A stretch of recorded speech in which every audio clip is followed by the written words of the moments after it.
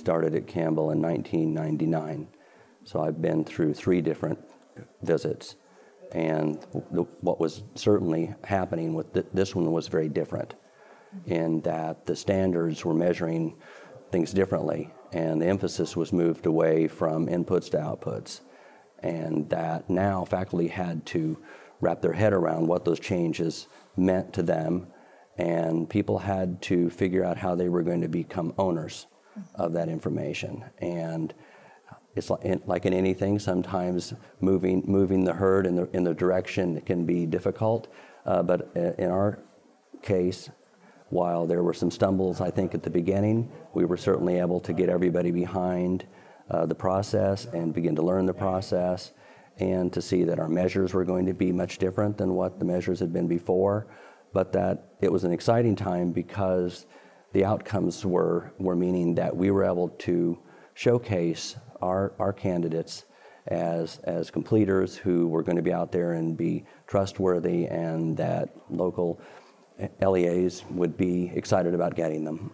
And my thought after having reflected on this entire process is the benefit of the CAEP standards, although at first glance it's very, you, you feel obligated to meet every piece of the CAEP standards.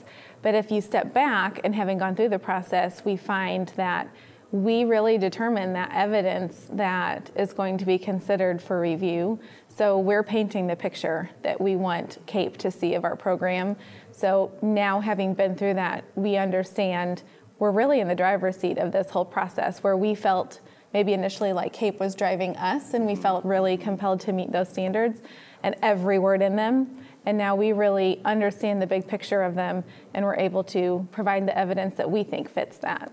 Some advice that we thought of, and um, as we're getting asked questions now that we've been CAEP approved, starting early. You know, you have the timeline of the work that needs to be done for sure, but making sure that you are starting early, you are holding people accountable to the work that needs to be done, but you also have kind of a checks and balances system, I think, because we had some changeover in staffing in the middle of our self study process mm-hmm. and getting our feedback reports. And so we're a smaller institution, but we didn't have kind of a backup plan for when those people left. So then our new faculty came in unfamiliar to the CAEP standards and the process. And so having a, a system and a checks and balances and making sure you give yourself enough time to really do the work to lead into your self study so that you don't have as much work with your addendums and feedback reports and all that.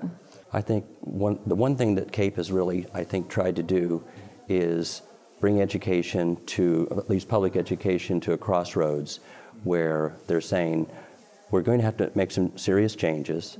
Um, in the past, we could build schools and people would flock to them and they would become teachers and it all worked out. Uh, right now, we have a situation where uh, CAEP included quality assurance in there for a reason.